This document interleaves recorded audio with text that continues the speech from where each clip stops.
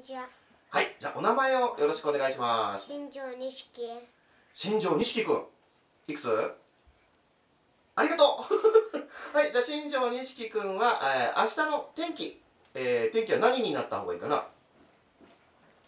晴れ。晴れがいい？なんで晴れがいい？いっぱい遊べるから。いっぱい遊べるから晴れる方がいいんだ。じゃあ明日晴れるようにね、えー、みんないろんなところにうとうとしようね。はい、じゃあ、えー、明日晴れになりますように。はい、し、し、新庄くんお疲れ様でした。ありがとうございました。